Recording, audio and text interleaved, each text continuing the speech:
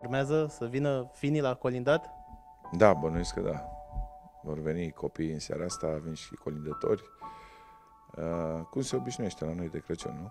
Ce ți-aduce aminte din anii copilăriei? Mergeai la colindat? Ce primeați? Nu mai știu. Ce erau pe vremurile acelea? Primeam de toate. Bani, dar nu plăteam taxe. Uh, portocale, a, portocale era o minune dacă primeam. Covrigi, dulciuri. Era fascinant să mergem la, cu colindatul. Era sărbătorile de, de iarnă sunt atât de puternic întipărite în mintea noastră. Era un moment de bucurie pentru că în, în perioada aia nu aveam mai nimic și la sfârșit de an părinții și familiile făceau eforturi uh, să pună pe masă tot ce e mai bun și de asta pentru noi era un prilej de mare bucurie.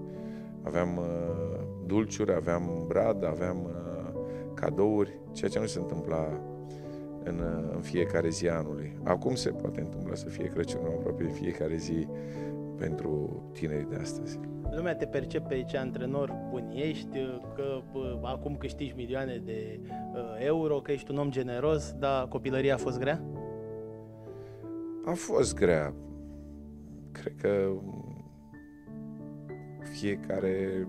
Adică nu știu câți oameni din România au avut o copilărie ușoară, dacă mă întrebați pe mine. Uh, însă uh, viața ne-a călăuzit pe un drum care ne-a dus unde suntem și nu trebuie să uităm niciodată de unde, ple- de unde am plecat. Dar sărbătorile erau mereu sărbători, nu? Da, bineînțeles. Era, am spus, un, mile- un prilej de mare bucurie pentru noi copii. Și acum e rândul tău să fii Moș Crăciun, nu pentru ceilalți. Văd că acum ți-ai lăsat. Crăciun, da, din, din păcate, însă încerc să-i bucur, în general, pe oamenii de lângă mine și toată viața mea, de fapt, targetul meu a fost ca ei niciodată să nu simtă ce am simțit eu. Văd că preferații tăi sunt copiii, nu? Totdeauna. Sunt, sunt o bucurie, îmi place să stau cu ei, să le fac bucurii, ne jucăm împreună. Bine, nici eu n-am minte mai mult așa decât ei, da. Mai joci și un fotbal în vacanță? Da, am jucat cu foștii colegi, o să mai joc și după Crăciun. Ne antrenăm, ne pregătim. Cât durează vacanța?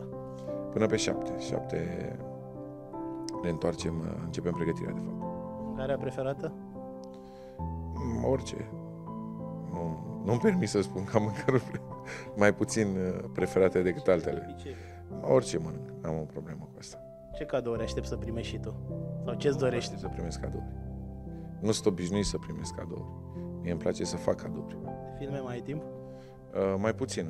Când sunt în China mai găsesc timp.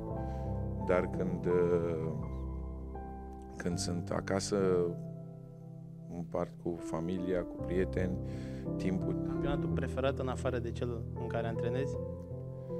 Anglia acum e pentru toată lumea, cred, campionatul preferat. Pentru că orice campionat, primul lucru care trebuie să te uiți, valoarea străinilor.